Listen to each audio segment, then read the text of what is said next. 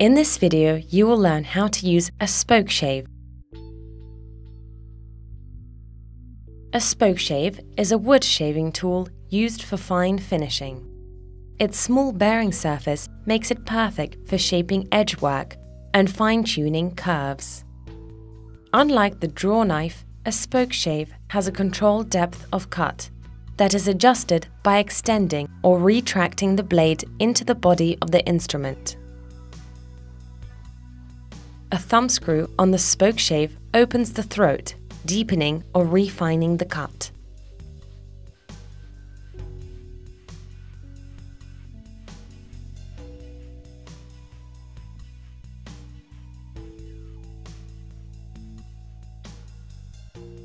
The spoke shave has a heel that you can rest on your work and control your cuts better. There are two handles on either side which are held while pulling or pushing the tool against a workpiece. Hold the handle of the spoke shave lightly with either hand.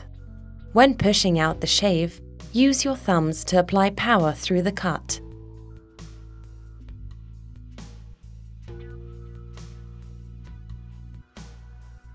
When pulling the shave, use your index fingers to power the shave.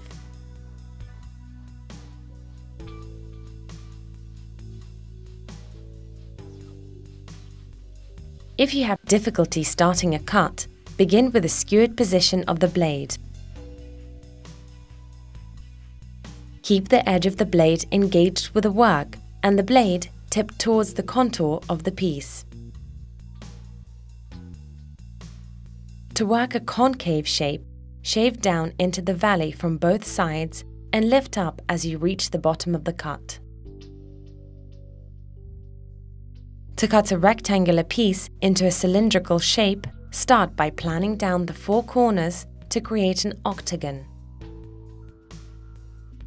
Remember that it is always easier to work with the grain than to shave against the grain.